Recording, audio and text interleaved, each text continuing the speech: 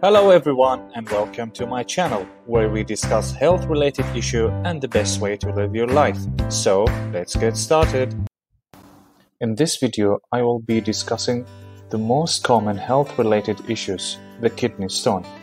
What forms these kidney stones, what are the symptoms and how can we prevent it? The renal system consists of the kidney, ureter, bladder, and urethra. Kidney stones are hard mass of crystals formed inside the kidney. However, these stones have different cause, which I will be talking about as we move on. Most kidney stones can go undetected until they start moving from the kidney into the ureter. The stones have sharp edges and scratches the ureter tract as they travel where nerve endings embedded in the tissue of the ureter tract, sending signals to the nerve system, causing pain, and sometimes these scratches can send blood flowing into the urine and cause other symptoms which I will be covering in this video. As long as the stone remains inside the kidney, you are more likely not going to feel a pain. However, a severe pain start kicking once the stone start moving from the kidney into the ureter. Most stones below 6 milli or 5 can pass through your body over time with the aid of a proper medication and other home remedy. But most importantly, these stones should not cause any obstruction or blocking. Otherwise, medical intervention is required, but it doesn't normally happen with the small stones below 6 milli. As we can see here, these are the common sites of obstruction in kidney, the uretero-pelvic junction, iliac artery, and ureterovesical junction. The kidneys are two bean-shaped organs, each about the size of a fist. They are located just below the rib cage, one on each side of your spine. Healthy kidneys filter about a half cup of blood every minute, removing waste and extra water to make urine. The urine flows from the kidneys to the bladder through two thin tubes of muscle called ureters. Your kidney is made up of about a million filtering units called nephrons. Your kidney also removed acid that is produced by the cells of your body and maintain a healthy balance of water, salt, and minerals such as sodium, calcium, phosphorus, and potassium in your blood. There are five types of kidney stones. Number one, uric acid with an average of 15%. Number two, struvite with an average of 9%. Number three, calcium oxalate with an average of 60%. Number 4. Cysteine with an average of about 1%.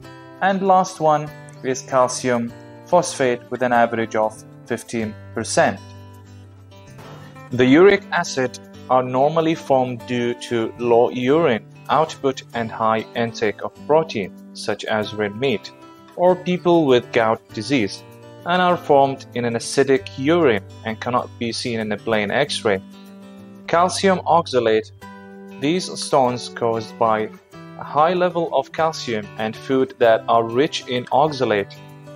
Struvite. These are associated with urinary infection or kidney damage but are very rare to happen.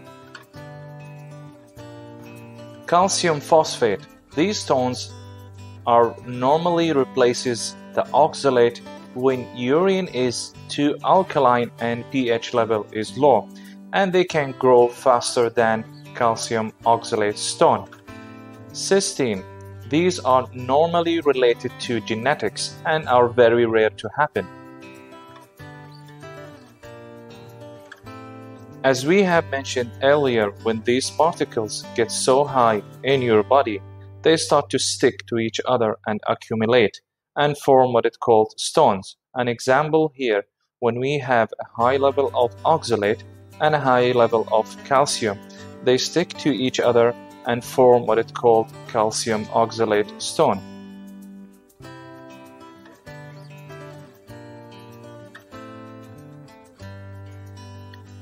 Since 60% up to 80% of the kidney stone are formed as calcium oxalate, it is very important to pay attention to what we eat. If you have been diagnosed with calcium oxalate kidney stone, it is very important to avoid or reduce the food that high in oxalate. You are more likely to develop these kidney stones in the future if you don't avoid or reduce this kind of food.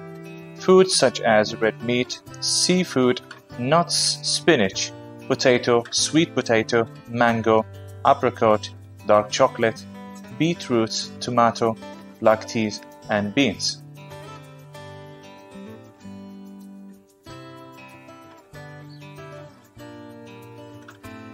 However, when you are unable to pass the stones within six weeks or begin experiencing symptoms such as abdominal severe pain, blood in your urine, or high fever, chills, nausea, or vomiting, it is very important to see a doctor for further examination.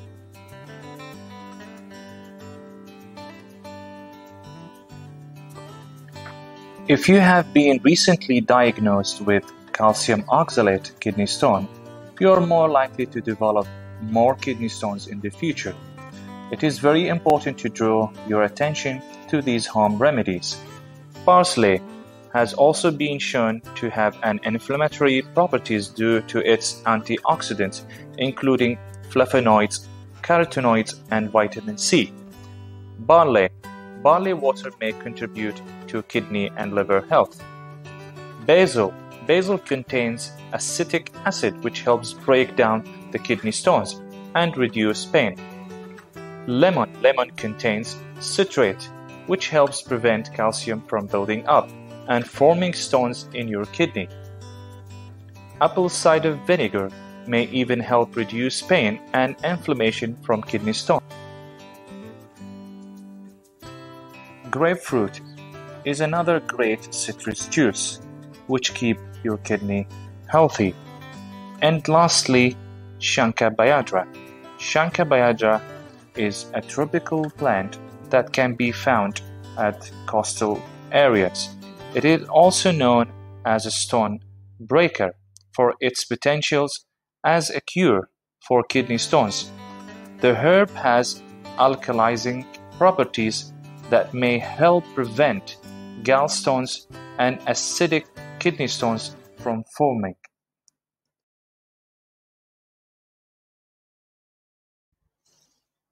That's all for me.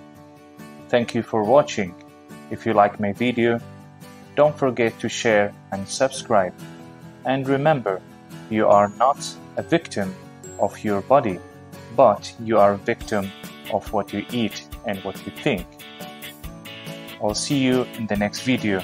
Goodbye.